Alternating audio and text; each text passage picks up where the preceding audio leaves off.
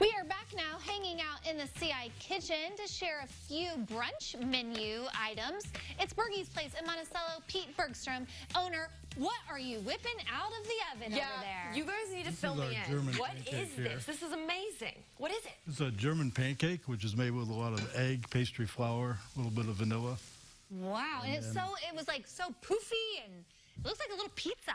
Yeah, So is this a breakfast item or is it dinner? or both. Or anytime I eat breakfast for dinner. I don't know about you guys. Well, but it's yeah. Very, very easy. Linner. Dinner.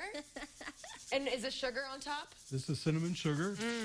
Or we do powdered sugar, blueberries a lot, and then a squeeze of lemon makes a whole bunch of difference on top of this pancake. Okay, Really? you're blowing my mind right there because right when you were sprinkling that sugar, I was thinking like elephant ear, funnel cake, and then you spruce on the lemon. I'm like, whoa, that takes it to a whole It nother goes level. with the butter and the kind of cuts into the fat, and it just it's a totally different pancake when you put the lemon on Now, top of it. obviously, this is something I want to come see you for because you're the expert here. But it's, pancakes are only simple ingredients. Can I do something like this at home? Like, what's in it?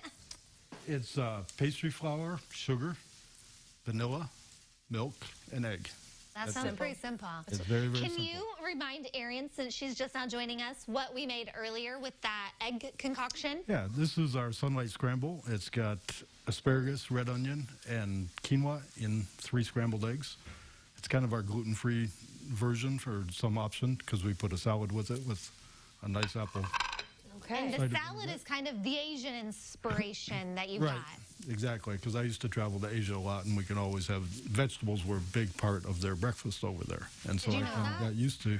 I didn't. I didn't Yeah. You should be more like that, though. Okay, and that bacon is like the thickest bacon ever. This is our bacon. It's, it's Niemeyer bacon out of Wisconsin, and we buy it in an entire entire slab, and we just hand slice it ourselves. So you get kind of a bacon steak.